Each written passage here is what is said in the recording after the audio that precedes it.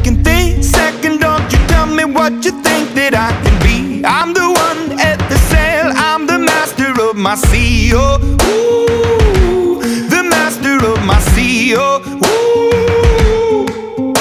I was broken from a young age, taking my soak into the masses, writing my poems for the few that look at me, took to me, shook at me, feeling me, singing from heartache, from the pain, taking my message from the veins, speaking my lesson from the brain, seeing the beauty through the.